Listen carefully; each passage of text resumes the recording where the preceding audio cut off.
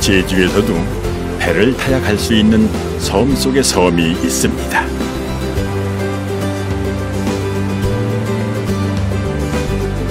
바람이 세차고 파도가 거칠어 제주 사람들에게는 그리움의 땅이라고 불리는 섬 가파도가 바로 그곳인데요.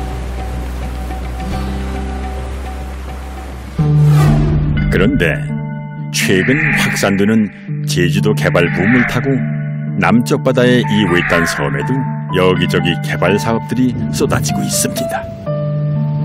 가파도 사람들은 어떤 생각을 갖고 있을까요?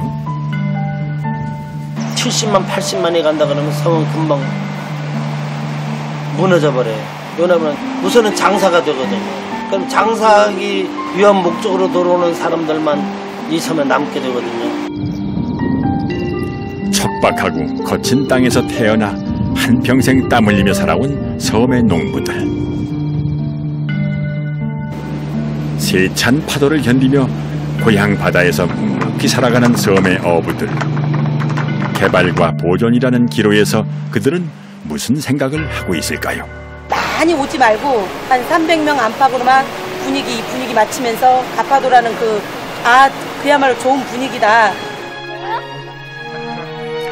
땅과 하늘 그리고 바람이 키우는 건강한 아이들이 자연과 어우러지며 살아가는 곳.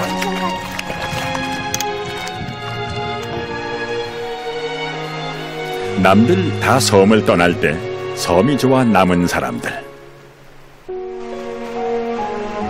그리움의 섬 가파도 이야기가 지금 시작됩니다.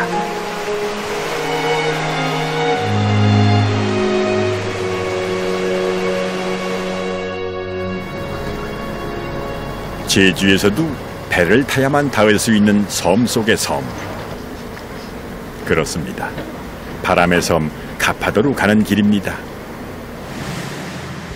남쪽 바다의 외딴 섬 가파도는 국내 최남단 마라도까지 가는 뱃길의 딱 중간에 자리한 작은 섬인데요. 본섬에서 5km 떨어진 가파도까지 여객선으로 20분 남짓. 바다 위에 방석을 한 장 띄워놓은 듯 아담한 섬 가파도가 눈앞입니다.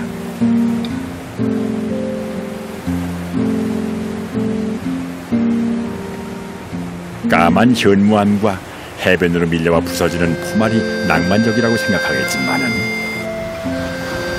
사실 가파도는 바람이 세차고 파도가 거칠어 적분이 수월치 않았던 은둔의 섬입니다.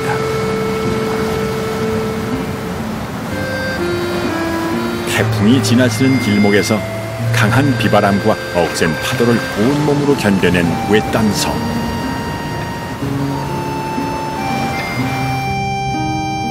그렇게 파도를 견뎌내고 섬에 들어오면은 완전히 딴 세상이 열리는데요. 가장 먼저 반겨주는 것은 고인돌 군락지입니다. 척박한 환경이지만 그때도 사람이 살만 했다는 뜻이겠죠.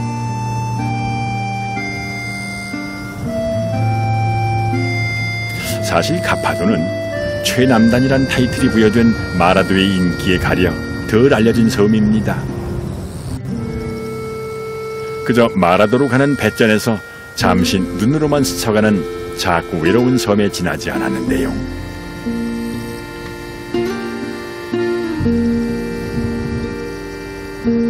그런 외딴 섬 가파도가 사람들의 관심을 끌게 된 것은 친환경 녹색 섬으로 거듭나면서부터입니다. 이미 마을 곳곳에는 태양광 발전용 전지판이 설치되어 있고요.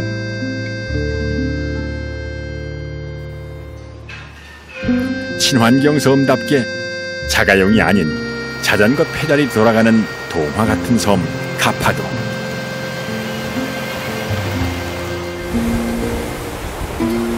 하지만 힐링의 섬에도 아픈 흔적은 있게 마련입니다. 비단 태풍탄만은 아닐 텐데요. 그동안 가파도에는 무슨 일이 있었던 걸까요? 우리는 섬 사람들의 삶을 좀 더 가까이 지켜보기로 했는데요. 보리 농사를 짓는 농부 김동욱 씨는 가파도에서 나고 자란 섬 토박이입니다. 이곳 사람들에게 보리는 남다른 의미를 지니고 있는데요. 워낙에 척박한 섬이다 보니 손이 덜 가도 잘 자라는 보리만한 작물이 없었다고 하죠. 보리 농사철이 아닌 요즘에도 하루에도 몇 번씩 들판을 따라 섬을 둘러보는 김동욱 씨. 그 오르면 봉우리가 하나고 그 산이라 명칭 붙어 있는 거는 봉우리가 두 개 이상. 거만 산이라 그래. 그러니까 제주도에는 산이 일곱 개. 나머지는 전부 오름. 근데 여기서 안 보이는 거 하나는 북군 쪽에 있는 영주산이라고 그것만 안 보이고 여섯 개 산이 전부 이 가파섬에서 보여. 사실 가파도는 제주도를 가장 아름답게 감상할 수 있는 조망 포인트로 손꼽히는데요.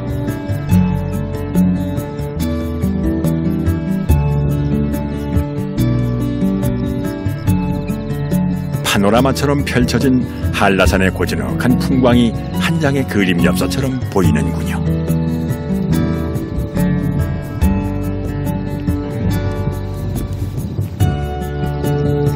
보리 수확이 끝난 들판은 이미 콩잎으로 옷을 갈아입었습니다.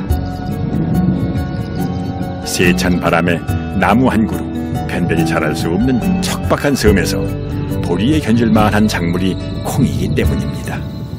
그 섬이라는 여건상 그 노동력이 별로 없어요. 전부 밭에 다니다 보니까 해서 가장 그 노동력이 안 들고 손쉽게 재배할 수 있는 게 콩인데 이 콩은 그 태풍 영향 때문에 그 마음 놓고 섬 전체를 재배할 수는 없고 그 섬 중앙에서 약간 북쪽 그래서 요 부분 일부분만 그 콩을 재배하고 있어요. 그렇다고 콩밭만 신경 쓸 수는 없습니다.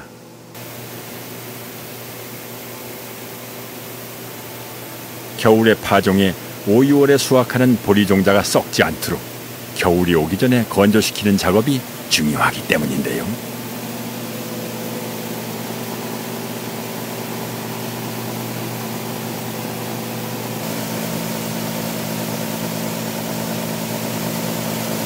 뜻밖에도 농부의 요즘 고민은 농사가 아닌 가파도의 미래라고 하는군요. 여기는 그 주변 어장이 워낙 풍부해 가지고 주민들이 그 여기에 살면서 어떤 그 뭐 소득의 불편함이나 생활의 불편한 점을 별로 못 느꼈어요. 그러니까 참 저희들 어렸을 때만 해도 한 천 명이 살던 마을인데 지금 엄청 줄어든 거거든요. 그리고 또 줄어든 것도 줄어든 거지만은 그 문제점은 뭐냐 그러면은 노인 세대만 증가된다는 거거든요. 젊은 사람은 없고. 그래서 생각해낸 것이 청보리 축제라는 이벤트였습니다.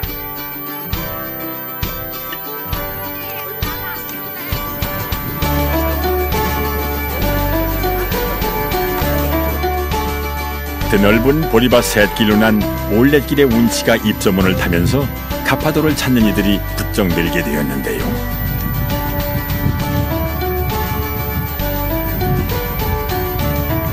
고즈넉했던 섬이 북적대는 외진으로 활기를 얻은 것은 반길만한 일이지만요. 출렁대는 것이 보리 물결만은 아닌 게 문제입니다. 지난 6월 말 기준 중국인들의 제주도 토지 보유 면적은 여의도 면적의 두 배에 달하는 592만 2천 제곱미터에 이릅니다. 제주도 개발 붐을 타고 상대적으로 지가가 저렴했던 가파도마저 땅값이 들썩이면서 섬을 무대로 이런저런 개발 사업들이 쏟아지기 시작했는데요.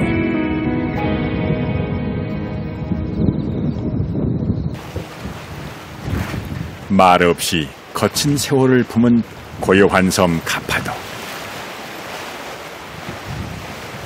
억센 파도를 온몸으로 받아 안았던 그 섬은 이제 더 이상 은둔의 섬이 아닙니다.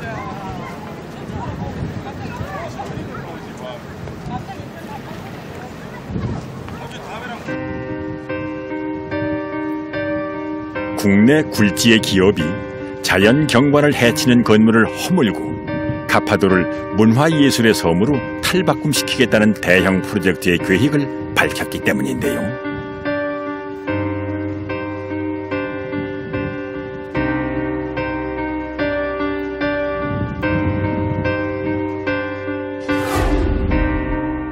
개발과 보존의 기로에서 기대 반, 걱정 반인 주민들. 그들은 지금 어떤 생각을 하고 있을까요?